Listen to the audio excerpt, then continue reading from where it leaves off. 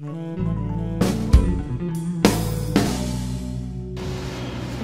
хотел бы обратиться к главе городского округа Дмитрию Волошину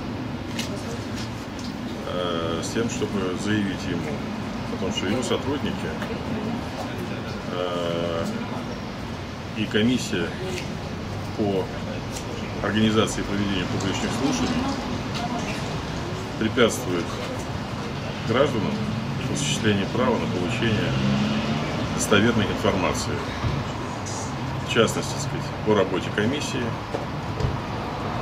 Были написаны сказать, э, жителями многочисленные э, заявления об участии.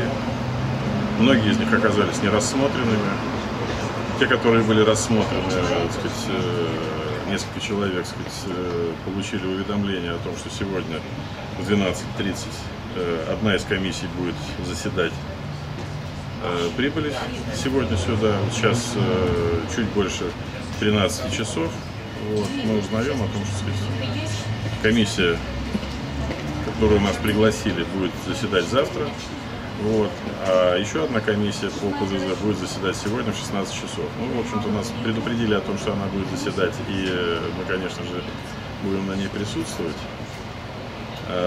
Значит, но неприятно то, что, сказать, люди отпрашивались с работы специально ради этого, да, и, э, в общем-то, сказать, э, негативное отношение накапливается. Вот, поэтому я прошу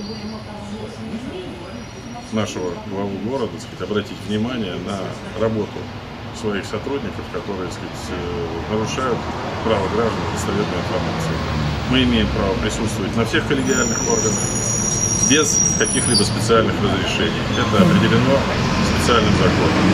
Все эти доводы указаны были в заявлениях. Заявления все официально направлены, э, сказать, э, в том числе на имя главы. Поэтому э, лучше, наверное, сказать, э, впредь не допускать таких э, инцидентов, вот, потому что они э, влияют на имидж и репутацию сказать, нашего главы, то есть высшего чиновника нашего города. Спасибо.